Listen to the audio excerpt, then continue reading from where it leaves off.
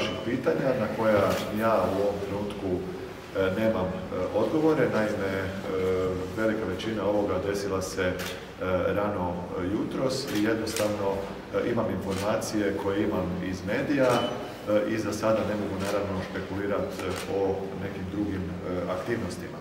Mediji su već do sada dosta toga prenijeli, a oglasio se i priopćenjem Ured Evropskog tužitelja, tako da je u njihovom priopćenju isto dosta toga rečeno i oni su rekli da do danjega neće dalje komunicirati sa medijima do nekih novih priopćenja.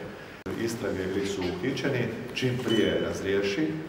Ja se kao gradonačelnika i gradska uprava na čelu sa mnom zalažemo naravno za transparentnost e, rada gradske uprave, za transparentnost svih javnih nabava koje se provode, jer radi se naravno o novcu e, građana e, i sve, prije svega, mora biti obavljeno sukladno zakonskim odredbama.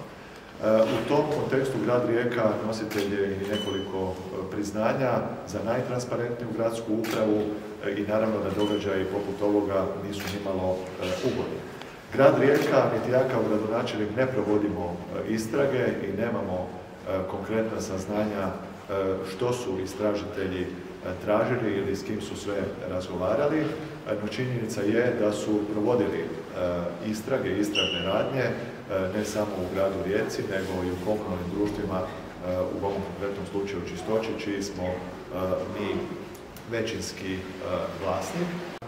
Radi se o europskom projektu, e, nije to jedina sortirnica u Hrvatskoj, ima ih još nekoliko gdje su bile angažirane vjerovatno i slične tvrtke, da sada ne idem naravno u detalje. E, u fokusu istražitelja bila je, bio je ovaj, ovaj slučaj.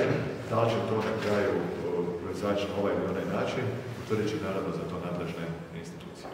Pročelnike koji sada obnašaju tu dužnost, znate da smo iz četvrtom imenovali VD, da je došlo do smanjenja gradske uprave. Naš cilj je efikasna, otvorena, transparentna gradska uprava i ne bojimo se. Kao što je rekao gradonačelnik, mi smo uvijek otvoreni za suradnju sa institucijama koje rade svoj posao. Ljudi rade svoj posao i doista vjerujemo da ćemo uspješno znači, sve projekte koji su započeni završiti. I isto tako da svi novci koje smo povukli do sada iz unije su garancija da grad Rijeka radi kvalitetno svoj